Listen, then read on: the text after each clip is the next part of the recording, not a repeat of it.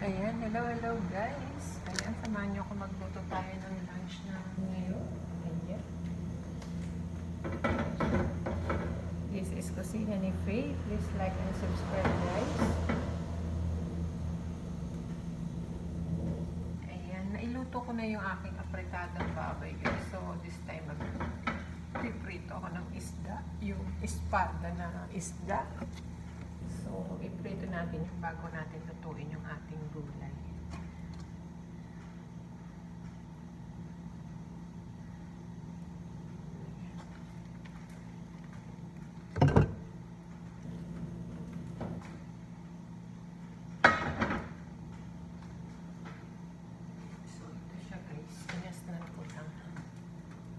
Espada. Putol-putol na siya. Piprito ko lang ito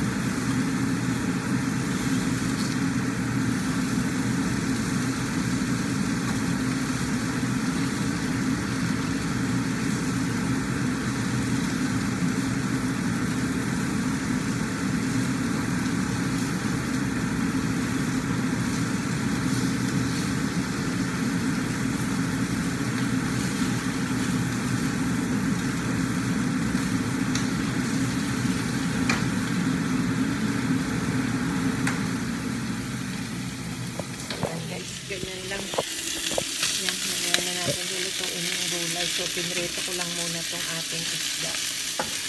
Ayan. Thank you, thank you guys. This is Kusina ni Faye. Ayan. Please like and subscribe Kusina ni Faye guys. Salamat, salamat guys. Bye-bye.